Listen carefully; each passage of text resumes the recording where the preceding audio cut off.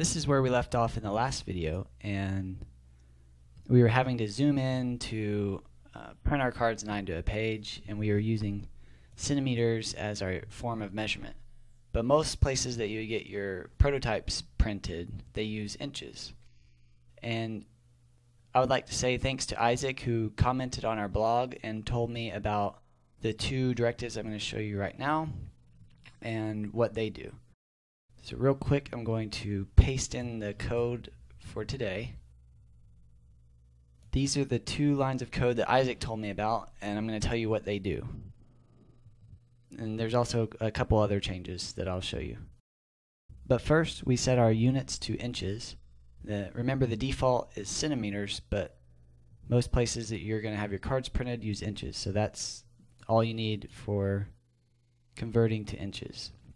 And you need this line of code above any line of code such as the page directive that uses a form of measurement.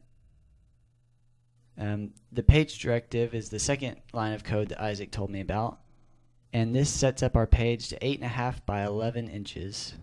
Portrait means it's taller than it is wider.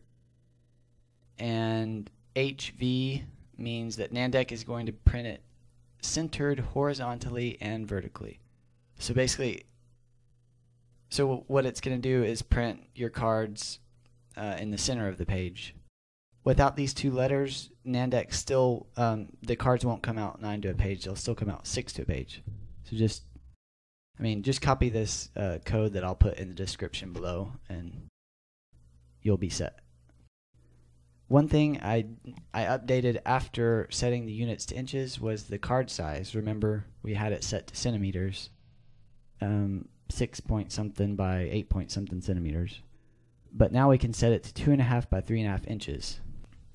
Last thing is we had our cards zoomed to 98 so that we would print 9 to a page. But with this page directive up here, we don't have to do that anymore. So we can, whenever we go to print, we can tell NanDeck not to read this line of code. And to do that, we add the, an apostrophe. I we could you could just delete this line of code, but I like to have it in my script because whenever I'm viewing, whenever I'm previewing the cards, I want to zoom in so that I don't have to scroll up and down to see the entire card. So now we're going to validate and build the deck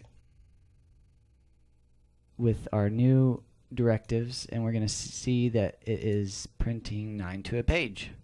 And it is. So that's how you print 9 to a page without having to zoom in on anything. Um, the next in the next video